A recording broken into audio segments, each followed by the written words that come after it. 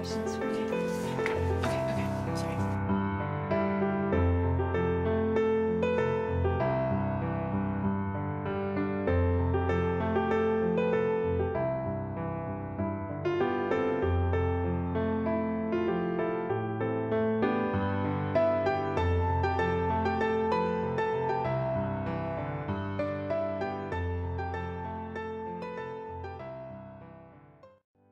You're beautiful?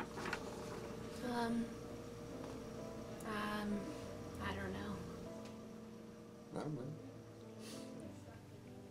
I wouldn't say beautiful, but I think of myself as cute. No, Why not?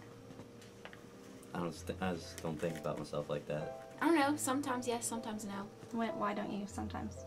Because I see other people. If you could change one thing about your body, what would it be?